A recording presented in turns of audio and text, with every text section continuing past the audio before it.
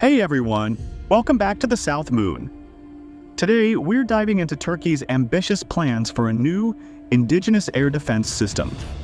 It's not just about defense. This project is a symbol of Turkey's rapid evolution in the defense industry, from relying on international systems to developing cutting-edge homegrown technology. Let's break down what this means and why it's a game changer.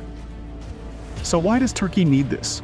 For years, Turkey's been a member of NATO but has felt that its missile defense needs weren't fully met by its Western allies.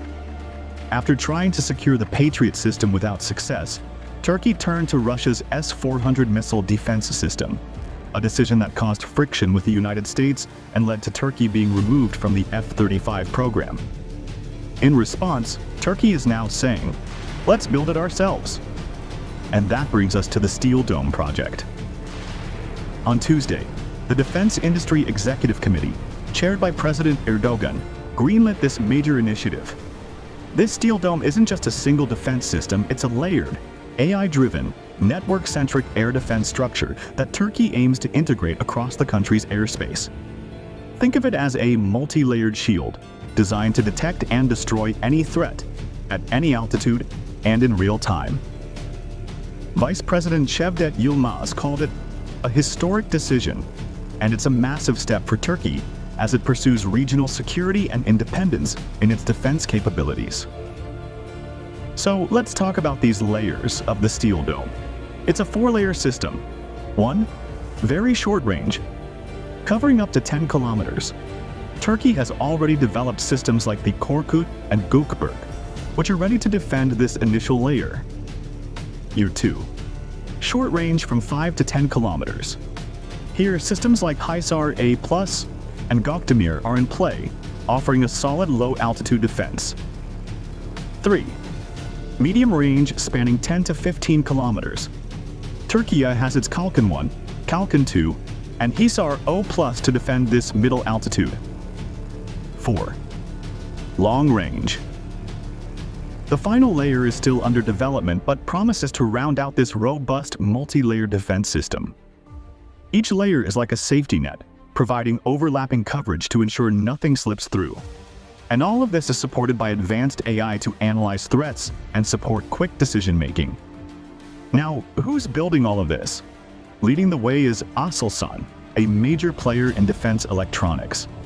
They'll be joined by other prominent companies like Roketsan for missile production, TÜBİTAK Sage for research and development, and MKE for ammunition and artillery. Together, they're working to bring this vision to life. This isn't just about air defense. Turkey's defense industry has been growing at an incredible pace. Just a few years ago, Turkey's defense exports hit $5.5 billion. This year, they're aiming for $7 billion. And the Steel Dome project is part of an even bigger strategy.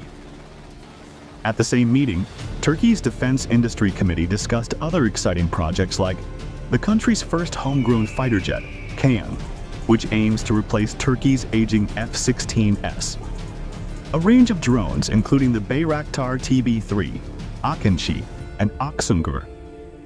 New ballistic missiles, tank modernization, and systems for electronic warfare.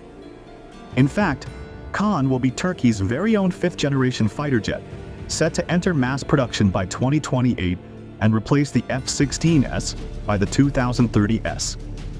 This will place Turkey among the select few nations with fifth-gen fighter jet capabilities, so what does all this mean? Turkey is rapidly evolving into a self-sufficient defense power, less dependent on foreign allies and ready to secure its skies and borders independently. The Steel Dome isn't just a defense project, it's a symbol of Turkey's strategic autonomy and the country's commitment to security and technological advancement. Thanks for watching. What do you think about Turkey's Steel Dome project?